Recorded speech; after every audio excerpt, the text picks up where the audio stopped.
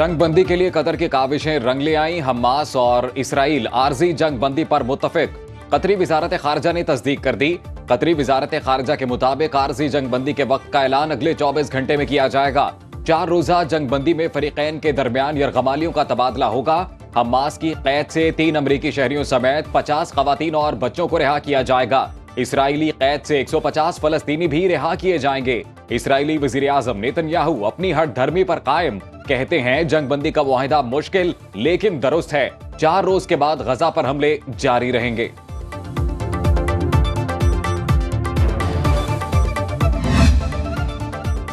मुख्तलिफ़ ममालिक के ऐवानों में गजा में जंग बंदी और इसराइल मुखालिफ करारदातें पेश। स्कॉटलैंड पार्लियामेंट ने भी जंग बंदी की करारदाद मंजूर कर ली। करारदाद के हक में नब्बे वोट पड़े। अट्ठाईस अरकान पार्लियामेंट ने जंग बंदी की मुखालिफत की। इसराइल से सिफारती ताल्लुकात मुनकता कर दिए जाएँ। जनूबी अफ्रीकन पार्लियामेंट में करारदाद भारी अक्सरियत से मंजूर। करारदाद के हक में 248 मुखालिफत में इक्यानवे वोट डाले गए।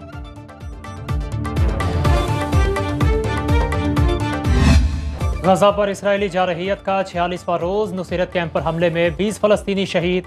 खान यूनस में रिहायशी इमारत पर बमबारी से दस अफराज शहीद, बाईस जख्मी हो गए। जवालिया कैंप का मुकम्मल मुहासरा, चार मंजिला इमारत पर मिसाइल हमले में दर्जनों अफराज शहीद। अलौदा हस्पताल पर बमबारी से तीन डॉक्टर शहीद हो गए। शिमाली गजा में इंडोनेशियन और कमाल इतवान हस्पताल के करीबी इलाकों पर हमले। मगरबी किनारे में सहोनी फौज ने फलस्तीनी नौजवान को गोलियों का निशाना बना डाला। चालीस अफराद गिरफ़्तार, चौदह की मजमू तादाद चौदह हज़ार से तजावज, पाँच हज़ार आठ सौ चालीस बच्चे शामिल।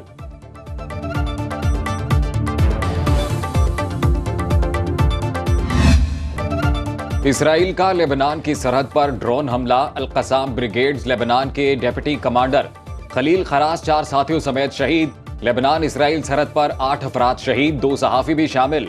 हालिया जंग में लेबनान सरहद पर होने वाली एक दिन में सबसे ज़्यादा शहादतें लेबनानी वज़ीर आज़म कहते हैं, सहाफियों पर हमले साबित करते हैं। इसराइली जराइम की कोई हद नहीं, वो मीडिया की आवाज़ बंद करना चाहता है।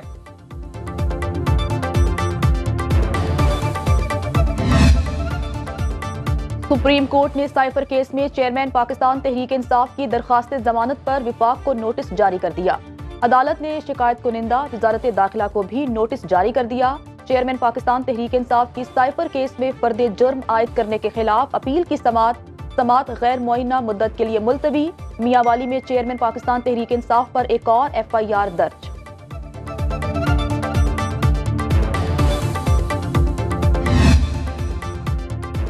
जस्टिस मुजाहिर नकवी के एतराज़ात मंजूर होंगे या मुस्तरद? फैसला chief justice supreme court Qazi Faez की सरबराही में सुप्रीम जुडिशल काउंसिल के इजलास में होगा।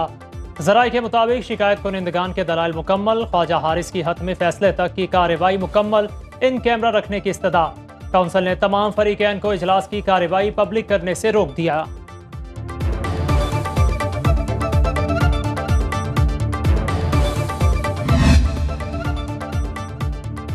पाकिस्तान स्टॉक एक्सचेंज में कारोबार के आगाज़ पर मुस्बत रुझान 100 इंडेक्स की 513 पॉइंट्स इजाफे से सत्तावन की सतह पर ट्रेडिंग, अमरीकी करेंसी के मुकाबले में रुपए की कदर में बेहतरी। इंटरबैंक में डॉलर चौवन पैसे सस्ता, डॉलर दो सौ पचासी रुपए पच्चीस पैसे का हो गया। गुजश्ता रोज डॉलर दो सौ पचासी रुपए उनासी पैसे पर बंद हुआ था।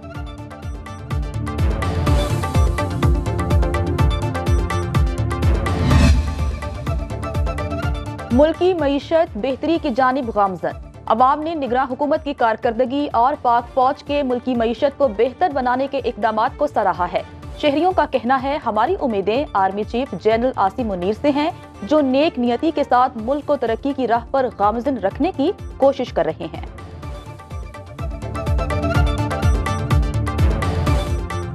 पाकिस्तानी हज और उम्र ज़ायरीन के लिए इंतज़ाम के माहे की मंजूरी, रियाज में सऊदी फरमा रवा, शाह सलमान बिन अब्दुल अज़ीज़ की जेर सदारत काबीना का अजलास रवा बरस पाकिस्तानी आजमीन हज का कोटा एक लाख उनासी हज़ार दो सौ दस रख दिया गया, पचास फ़ीसद सरकारी, बाकी निजी स्कीम के तहत फरीजा हज अदा करेंगे।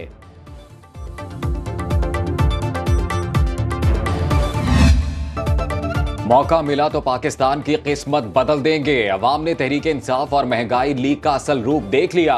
ये दोनों इकतदार में आकर अपना जाती हिसाब लेंगे। Chairman Peoples Party Bilawal Bhutto का परदीर में जलसायाम से खिताब। कहा, बुज़ुर्ग सियासतदान जाति दुश्मनी पर उतर आए। खुद काम करते हैं, ना किसी को करने देते हैं।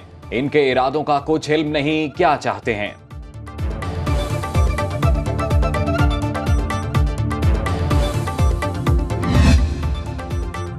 लाहौर समेत पंजाब भर में कम उम्र और बगैर लाइसेंस ड्राइवर्स के खिलाफ बड़े पैमाने पर क्रैकडाउन। लाहौर में नौ दिनों में 3,345 बगैर लाइसेंस ड्राइविंग पर 1,670 मुकदमात दर्ज। गाड़ियाँ थानों में बंद पोश इलाकों में एक सौ नब्बे मकाम पर खसूसी नाके कायम।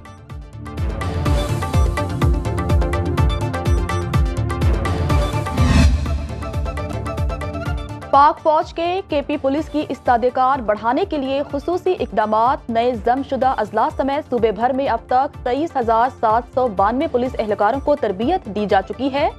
शिमाली वजीरिस्तान के इलाके स्पिन बाम में तीन हफ्तों पर मुश्तमिल चालीस पुलिस एहलकारों की खसूसी तरबियत जारी है।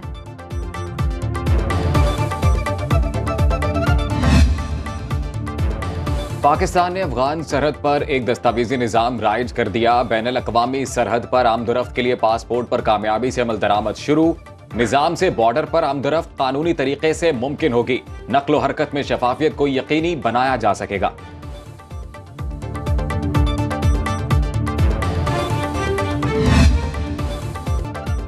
कौमी क्रिकेट टीम के ओपनर इमामुल हक की शादी की तैयारियाँ। इमामुल हक की होने वाली अहलिया अनमोल महमूद का रूसी लिबास में दिलकश फोटोशूट।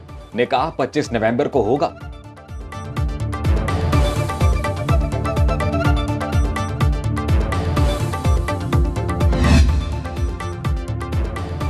और बरे सगीर पाको हिंद के रूहानी पेशवा हज़रत शाह रुकनुद्दीन आलम के 710वें उर्स की तकरीबात का तीसरा और आखिरी रोज मुल्क भर से जायरीन की आमद का सिलसिला जारी है।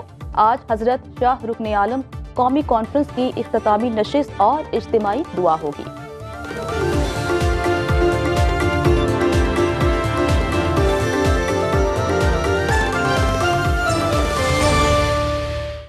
अब खबर आपकी दस्तरस में, हर वक्त, बर वक्त।